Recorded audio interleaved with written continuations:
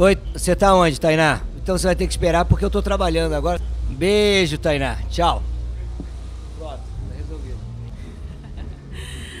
Kita foi uma combinação de siglas que a gente estava chegando para achar o nome de uma banda, porque eu acho que a maior dificuldade de uma banda é achar o nome. A Kita foi uma combinação de siglas e significados que misturaram e acabaram virando nome, Kita gente usou o dadaísmo para usar letras e. tô brincando. É que nem a gente usa para escrever o roteiro do programa, então tá tudo certo. Pra gente é muito importante estar participando da, das cenas interessantes de, do rock do Brasil. Brasília, como faz o Porão do Rock, que é um dos maiores festivais do Brasil.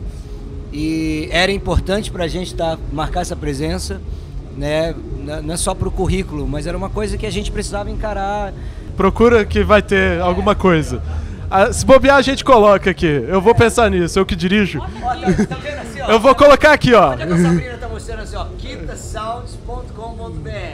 Fala galera, nós somos o Kita e esse é o Porão do Rock 2013. Uh!